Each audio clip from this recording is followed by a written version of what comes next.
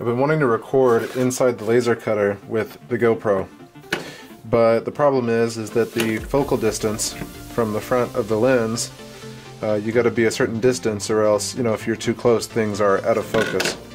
So I ordered a macro lens for the GoPro, and we're gonna give it a try, see if it makes the footage any better.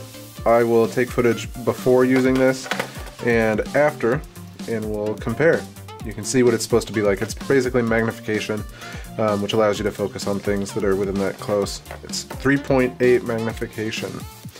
Has a focal distance of 3 to 12 inches. Should be perfect, actually, for what I'm doing. Now this one I got because it just clips right onto the GoPro case. Oh, it's got like a little pouch, whatever. This just clips right on there.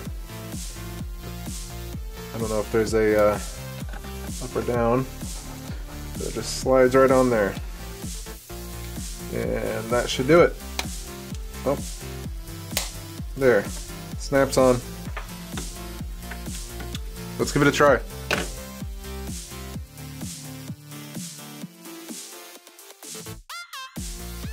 So here is the before. This is just the regular lens on the GoPro. You can see uh, things are a bit blurry in the bed here.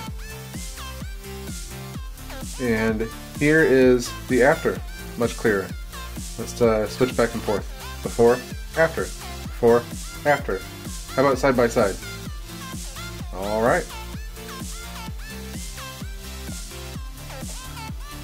So there you go. Uh, you can let the results speak for themselves.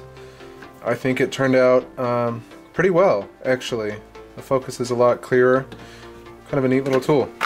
Polar Pro macro lens for the GoPro.